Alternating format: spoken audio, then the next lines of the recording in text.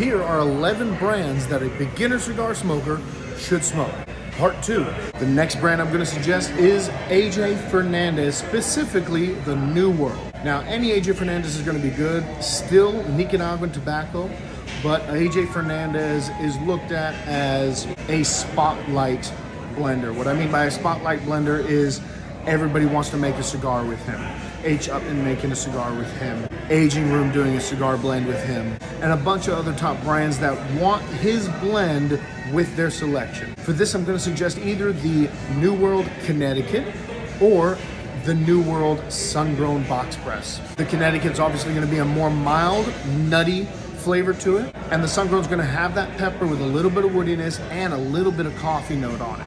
The next brand is Southern Draw. First of all, just a great company overall. Veteran owned, veteran operated, family owned, family operated. And I'm going to go ahead and suggest, of course, the Rose of Sharon Desert Rose. The other reason I want to suggest this guy specifically is because Southern Draw is one of the few manufacturers out there that still use USA Connecticut wrapper. USA Connecticut means that the seed was from Connecticut and actually it was grown in the US. As apart from Ecuadorian Connecticut, which is most of the Connecticut you're gonna find on the market, where the seed might be from Connecticut, but it was grown in Ecuador.